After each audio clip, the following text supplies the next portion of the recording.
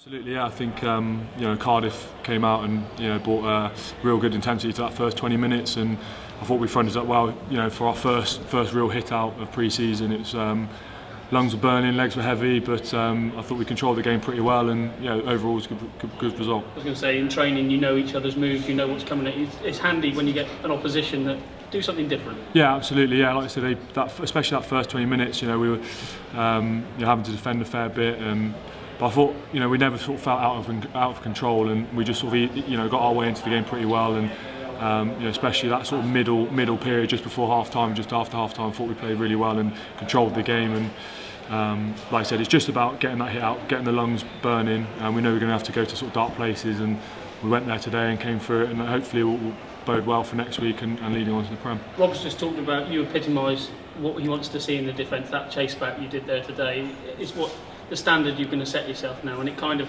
that last five ten minutes of the game it inspired the youngsters as well.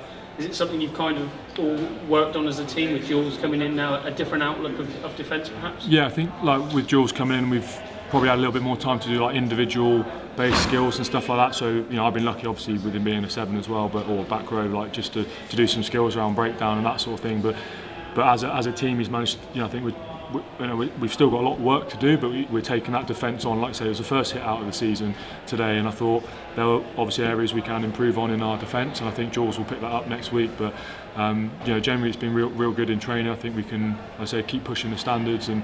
Um, yeah, I think I think hopefully next week we can take it on again and like I said, just hitting the ground running in, in Leicester. For coaches and players, having that video now to work with, the, the guys last night they, they, put up a show, but unfortunately came out unstuck. You put up a show. Rob said we've seen the good and the bad over the last 24 hours. You've got stuff to work with now. Oh, absolutely, yeah, and I think.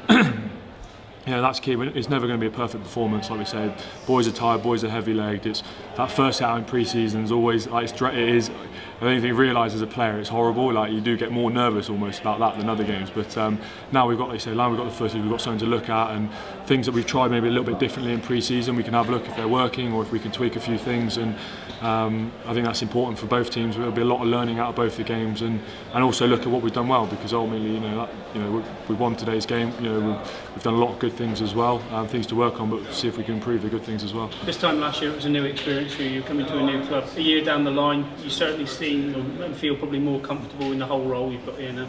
Yeah, I said, I said a minute ago, I was just sort of it's been nice to hit. I, I haven't had to come in and, and, learn all the calls and you know be in a different environment. And it's been easier for me this year in the sense I could just hit the ground running. You know, just focus on really getting all the fitness in, and um, I'm a lot more comfortable. I know the boys in the squad and a little bit, just just generally more comfortable. And I think that's that's helped personally helped me this year and um, hopefully I can just keep keep improving. Leicester's looming large on the horizon now. This year they're talking this is going to be the, probably the toughest Premiership yet. Uh, is it how you've seen it as a player? There's no easy games. Well, every year is every year is tough. I think you've seen like, over the last sort of couple of couple of seasons. There's been the margins between sort of eight and eighth and maybe fourth have been a few points. And you know, at the end of the season, it sort of frees up a little bit, and you can see. But you know, teams are teams are there are a lot of unexpected results. So, like I said, we like I said, a bit cliche. We'll just focus on next week. You know, Munster's, you know, no, no pushovers, a big team in Europe. So we're going to have a, a good crack at them next week, and then, like I said, take the learnings from both these games and um, yeah, give it. It's nice to have a home game first up, so we can have a good crack against Leicester.